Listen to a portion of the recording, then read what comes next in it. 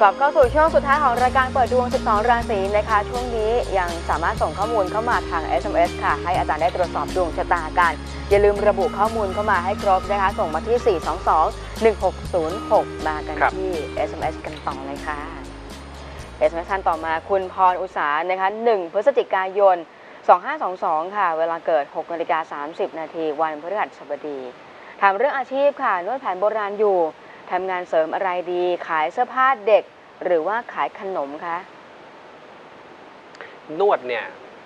ต้องพัฒนาถึงขั้นรักษาพยาบาลน่ะก็คือพูดง่ายๆว่าไม่ใช่แค่นวดผ่อนคลายนะครับ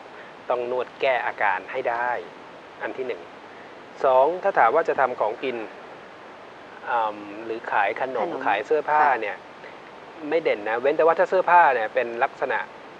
ในเรื่องของการรับซ่อมรับแก้ ซึ่งอันนี้มันก็จะดึงเวลาจากงานเดินที่ทำของกินต้องมีการแปรรูป จึงจะสมรูปนะจริง ๆ แล้วผมว่าให้น้ำหนักกับการพัฒนาสิ่งเดิมนะคือคือหมายถึงว่าถึงขั้นแก้อาการนะนวดให้มีฝีไม้ลายมือดีๆ แล้วก็ลักษณะอย่างหนึ่งครับ อันนี้ก็คือพวกจับเสริมมือเปล่าพวกงานขายตรงทุกประเภท อันนี้ลองดูนะ ถ้าคุณต้องการ just แค่ทำเสริม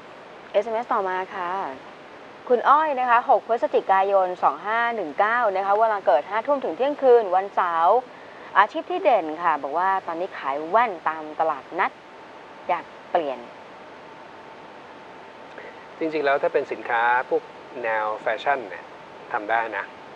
ทำได้นะนะครับ เพียงแต่ว่าจังหวะรอยต่อเนี่ยย่าง 40 เกณฑ์งานมันเสีย ย่าง 41 ที่กำลังจะมาถึงเนี่ยดาวอาชีพมันมีปัญหานะเอาเป็นว่าลองดูครับ ถ้าขายตามตลาดนัดในช่วงปี 2 ปีนี้ลองมีการจร มีการเดินทางเพื่อเป็นการแก้ดวง แล้วลองดูครับไอ้กลุ่มสินค้าแฟชั่นเนี่ย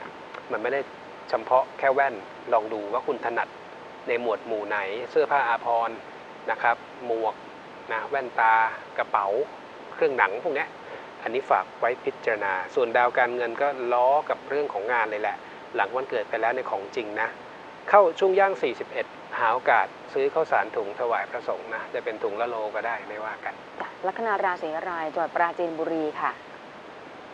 เวลาเกิด5ทุ่มถึงเที่ยงคืน ก็อาจจะคาบเกี่ยวเนาะนะครับเดี๋ยวลองดูครับว่าหนึ่งชั่วโมงนั้นน่ะอ่ามีโอกาส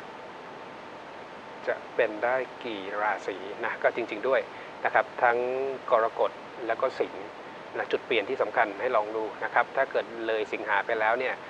ถ้าเราสุขมีปัญหาเยอะขึ้นนะถึงสภาพคล่องจะมีเข้ามาบ้าง แต่ก็เก็บไม่ได้ อันนี้คุณเป็นสิงห์ SMS ต่อมาค่ะ SMS ต่อมาเด็กหญิงพลอยนะคะเกิดวันที่ 12 สิงหาคม 2551 ค่ะ เวลาเกิด9นาฬิกา7นาที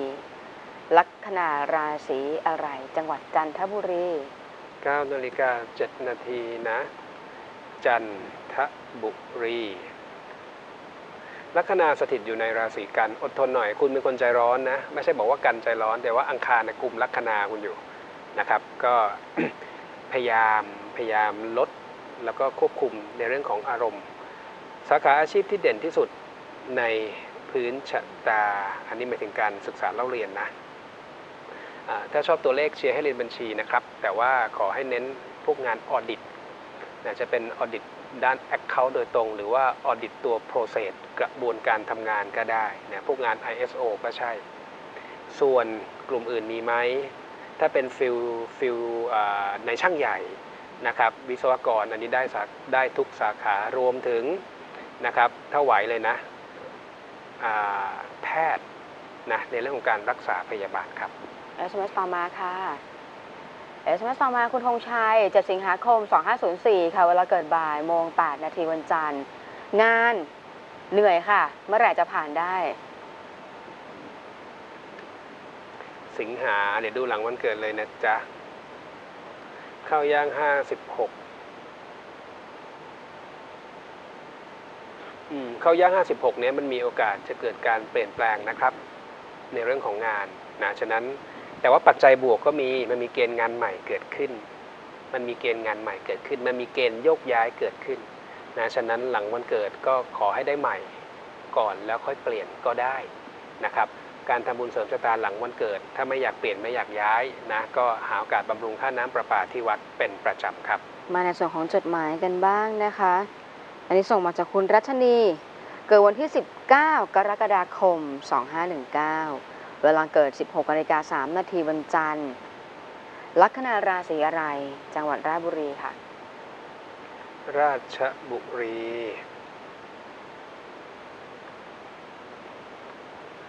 16.03 นะครับ ค่ะ ลัคนาสถิตอยู่ในราศีพิจิก ช่วงนี้สุขภาพต้องระวังนะครับ และในแง่ของถ้าโค้ชทำงานอยู่ ปีนี้อาจจะออกแรงเยอะผลงานน้อยเป็นไปได้ทั้งสิ้นนะคค่ะรับเนี่ยถามถึงอาชีพด้วยนะคะ มีทั้งหลักทั้งเสริมเลยปัจจุบันทำไร่ เพาะเลี้ยงไก่ชนนะคะ แล้วก็จ้ะขายผลไม้ตามฤดูกาลเปิดขายในตลาดค้าส่งอืมไม่มีแผงประจำนะคะเป็นประเภทเปิดท้ายรถกระบะ แล้วก็อาชีพเสริมก็คือ ขายสินค้าแบบขายตรงด้วยอืมทำหายแล้วก็อย่างผลิตภัณฑ์ปุ๋ยเคมีด้วย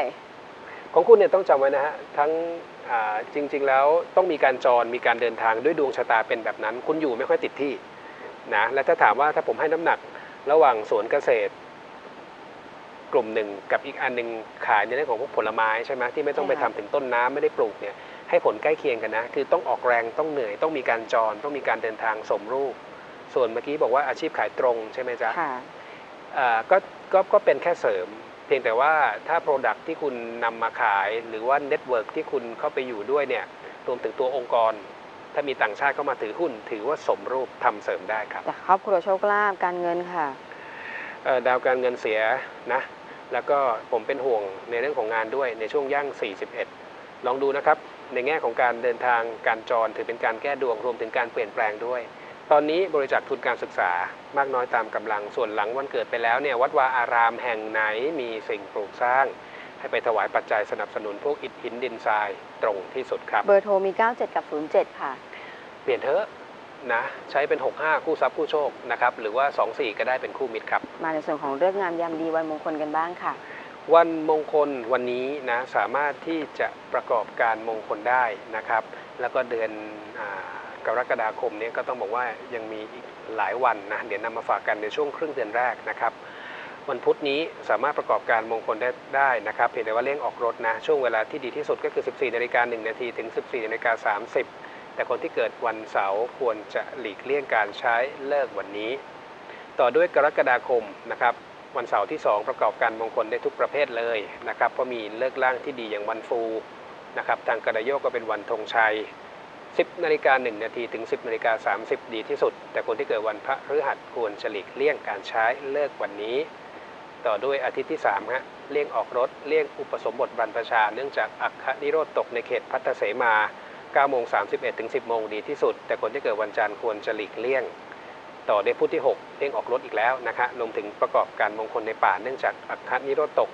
ที่เหลือทำได้ 17นาฬิกา1นาทีถึง 17นาฬิกา30 ดีที่สุด แต่คนที่เกิดวันเสาร์ควรจะหลีกเลี่ยง